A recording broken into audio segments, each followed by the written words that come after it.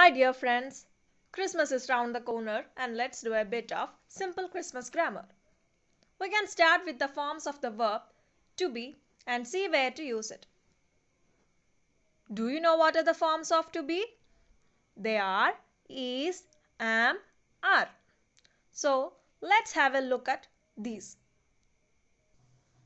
The first one is. When do we use is? We use is with singular forms of nouns and pronouns like he, she, it.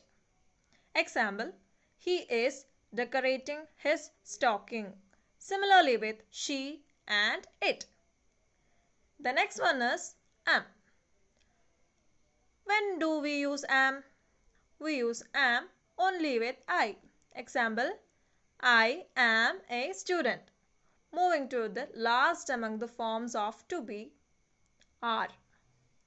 We use are with plural forms of nouns and pronouns. We use are with you also.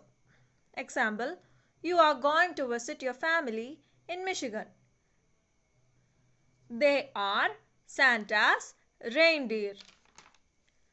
Now we can look at some more examples.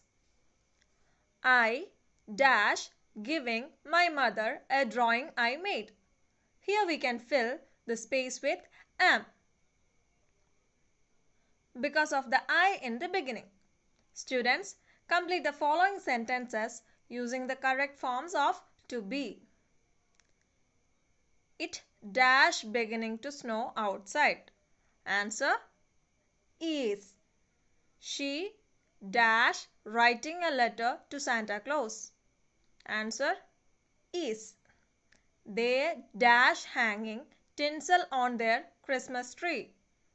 Answer are. We dash leaving out cookies and milk for Saint Nick.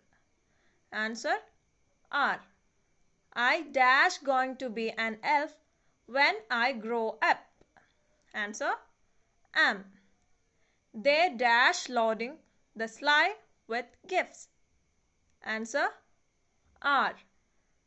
Dear students, hope that the activity taken in this class is clear for you. If you have any doubt, mention it in the comment box. Thank you.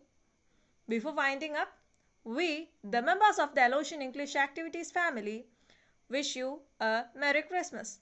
Thank you once again. Meet you in the next session.